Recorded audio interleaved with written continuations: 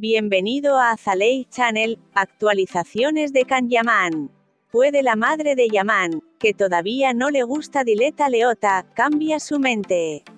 A pesar de que la historia entre Kan Yaman y Dileta Leota se mueve a un ritmo vertiginoso ritmo, la atmósfera alrededor del par de tortolitos no parecen ser especialmente serenos.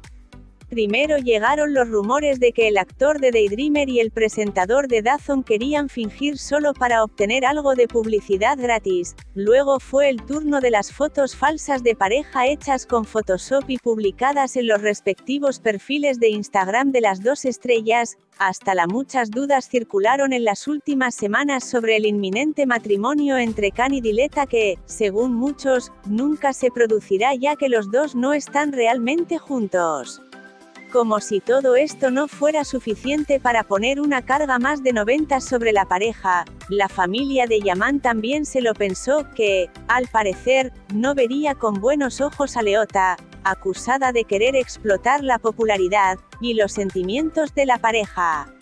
Actor turco. De acuerdo, tal vez eso sea demasiado, no.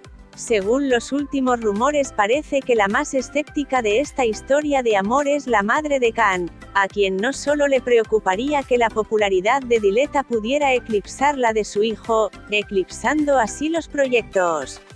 Obra de Yaman que, en breve, volverá a aparecer en televisión como Sandokan.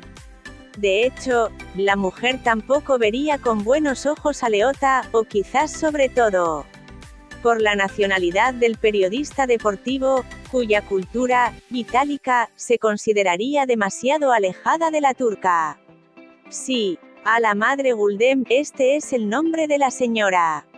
Yaman, no parece gustarle la novia de su hijo, y esto quizás también por el cuerpo de Dileta, considerado, demasiado, explosivo y explosivo. Sí, pero ¿qué piensa el actor turco de toda esta historia? Hasta la fecha parece que Yaman no tiene intención de escuchar a su madre, continuando sin demora su historia de amor con Dileta, con la esperanza de que mamá Gulden pronto comprenda lo dulce, linda e inteligente que es su nueva pareja. Por supuesto, en esta ocasión solo podemos estar del lado de Leota y animarla, después de todo, juzgar a una persona solo por su apariencia física es incorrecto y terriblemente injusto. Si la bondad, la sinceridad y el valor de una mujer pudieran medirse por el largo de una falda o la profundidad de un escote, todo sería más sencillo.